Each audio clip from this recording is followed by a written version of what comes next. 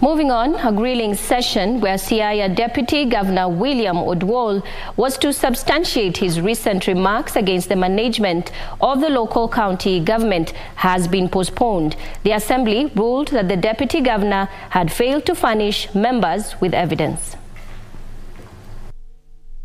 The motion to summon the deputy governor was moved by Yimbo East representative Francis Otiato, who sought leave of the House to have William Oduol shed light on his allegations about the mismanagement of the county.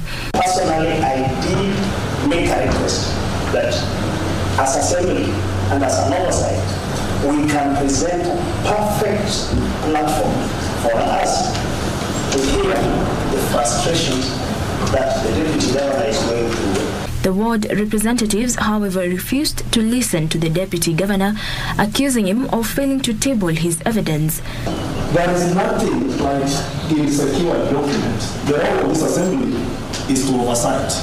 So meaning any wrongdoing which the DG has from the executive where he sits and is ready to take to this house, he must be able to defend that document, even if somebody else tries to make it correct. The court is lenient and has given you uh, two days.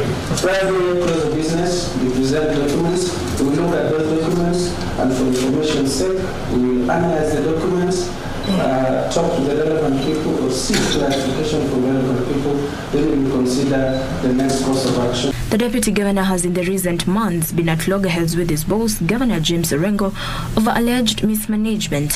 He has been accusing a syndicate in Orengo's office of targeting top officials from their Alego Usonga constituency for removal from office, interfering with the implementation of projects in the vast constituency. The deputy governor has also been claiming that he has been sidelined from the day-to-day -day activities in the county government and has been reduced to just reading newspapers and taking tea in the office while his security detail and chase car have been withdrawn. Jacqueline Masharia for Lunchtime News.